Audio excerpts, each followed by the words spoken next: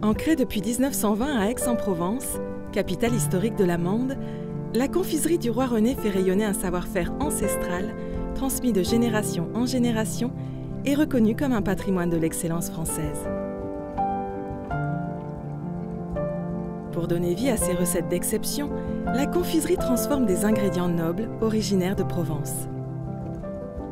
Des calissons fabriqués dans les règles de l'art, un mélange d'amandes finement broyées du melon provençal et des écorces d'orange confites dressées sur un lit d'hostie, le tout recouvert d'une fine couche de glace royale.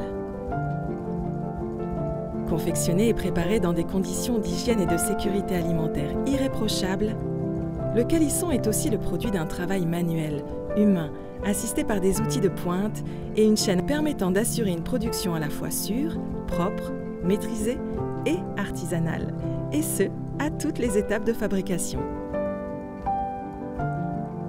Ainsi, sont également fabriqués des nougats blancs et noirs, cuits au chaudron et dont la puissance aromatique repose sur le caractère remarquable des miels de lavande de Provence IGP ou de miel de fleurs de Provence. Parmi d'autres douceurs, telles les pâtes à tartiner biologiques ou encore les pâtes de fruits.